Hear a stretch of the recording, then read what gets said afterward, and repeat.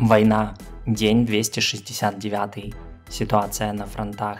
В последнее время россияне активно используют дроны Камикадзе Лансет для ударов по украинской технике.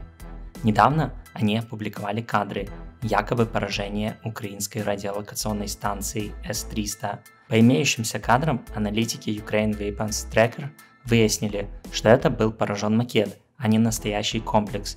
И все бы ничего, такое бывает, но дальше аналитики GeoConfirmed решили выяснить время и место поражения макета. И оказалось, что это российский макет комплекса, и располагался он на подконтрольной россиянами части Херсонской области до их отступления. Причем находился он там минимум два месяца. Таким образом, россияне опубликовали кадры поражения своего же макета. Вполне может быть, что исполнители знали, что это их макет – но сделали это для обмана начальства и получения наград или вознаграждений. Альянс Свободы Несмотря на критику ранее, сейчас Германия оказывает довольно существенную помощь Украине в противостоянии российской агрессии.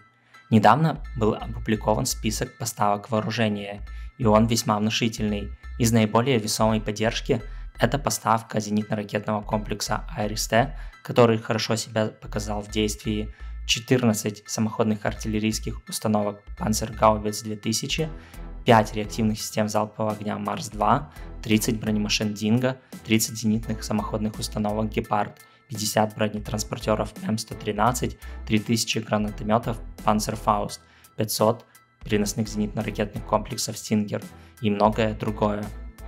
Восток. Продолжаются приграничные обстрелы в Сумской и Харьковской области. Бои идут по направлению Сватово-Кременная. Россияне предпринимают тут контратаки, но продвинуться не могут.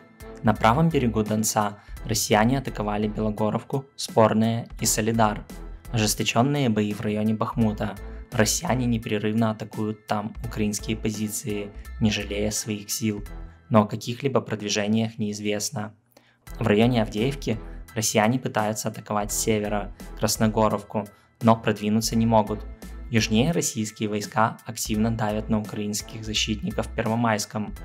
Село было почти сравнено с землей российским артиллерийским огнем, что вынудило украинские силы оставить некоторые позиции в юго-восточной части.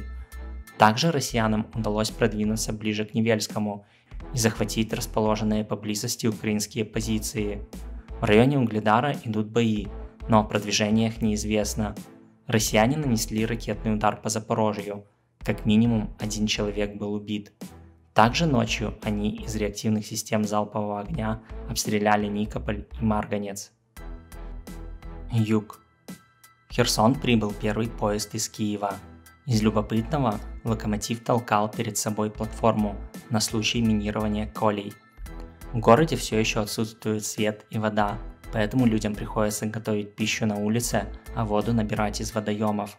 На фронте сообщается о артиллерийских обстрелах, но интенсивность их не столь высока, как на других участках.